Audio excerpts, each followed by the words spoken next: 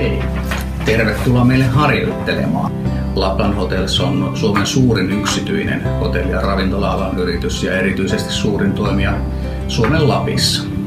Meillä on harjoittelupaikkoja Ylläksellä marraskuun loppupuolelta huhtikuun loppu, loppuun saakka esimerkiksi tarjoilijoille, kokeille, vastaanottovirkailijoille ja siivoille. Tarjoamme harjoittelijoille esimerkiksi majoituksen veloituksen sekä kaikki meidän henkilökunta etumme esimerkiksi maksuttomat hissiliitot.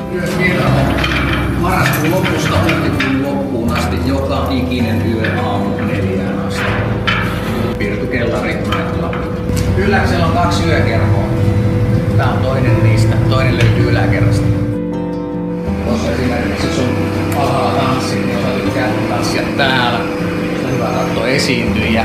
Ja taas sitten puoli kahdelta, kun keikka loppuu, niin täällä väännetään kolme täysille ja aloituspiisi voi olla vaikka Satasalamaa iskee tulta. Eli tuolla alakerrassa on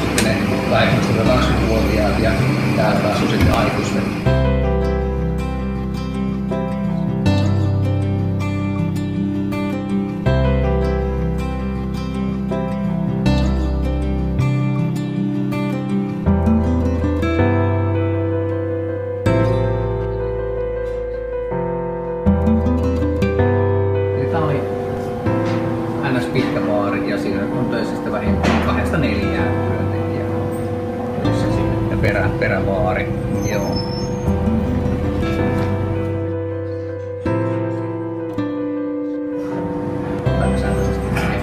Ei nekään parhaimmillaan tyhjänä, mutta tota, aamiais- ja päivällispuukoa pienenä erikoisuutena. iPadilla tilataan mehua. Joskus harvoin näkee, että yrittää niinku kynnellä painaa. Niin, niin ei toimi sitten. Joo, Niin. kyllä. Joo.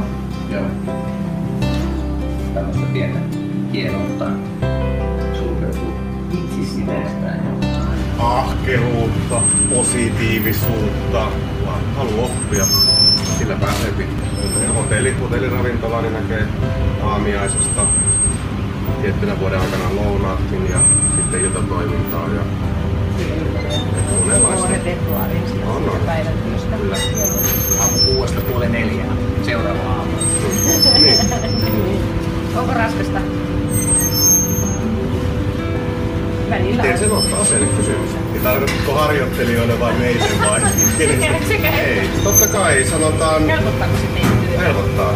Totta kai siinä on muutama päivä ennen kuin saadaan talon tavoille, niin, mutta sitten kun se lähtee rullaamaan, niin totta kai on iso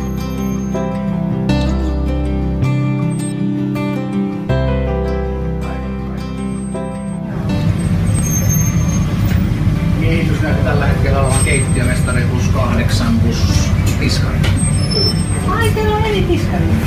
Joo, meillä on varsinkin niin aamiaiset, aamiaiset on niin isoja ja aamiaisissa on tosi paljon lautasia ja siis muutenkin kuppeja, kippoja ja Siinä on kamera täytetty. Ota ihmeellä kuva.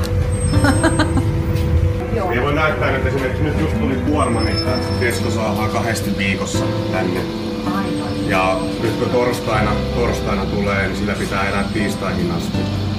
Kuinka Ei oo- pitkään menee pulkaissa ja laittaessa?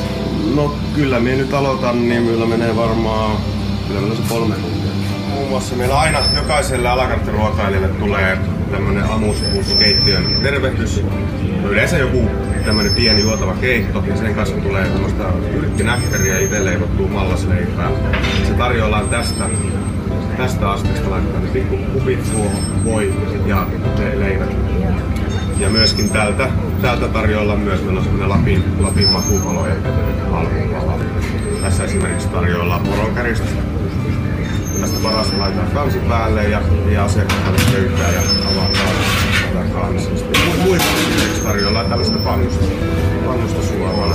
Niin tavallaan hampurilainenkin, jolla on paljon siihen panostettu jo vähän, että tavallaan millä erottaudutaan siinä, okei, meillä on lappilainen lappilainen 100 prosenttinen naudan, naudan piikki, mikä valmistetaan meille tuolla Rovaniemellä tilaustyönä ja muutenkin sitä lappihenkeä, että savuporoa, savuporoa.